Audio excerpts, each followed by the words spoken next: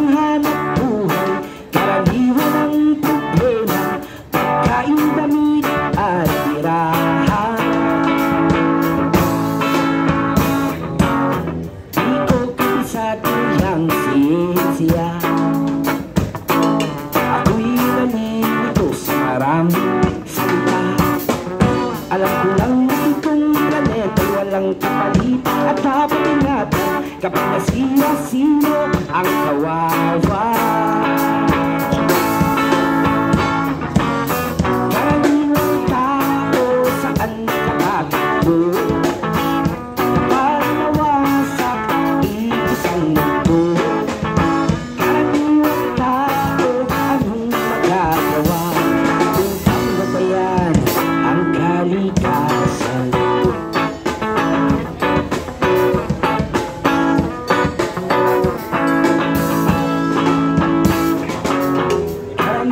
Karaniwang bagay ay di pansin.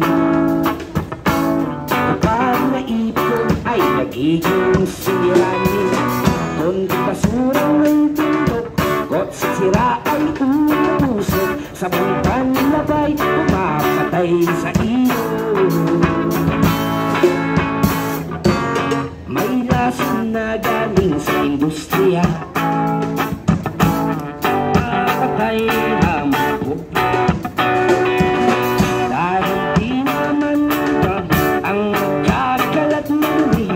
ay kilala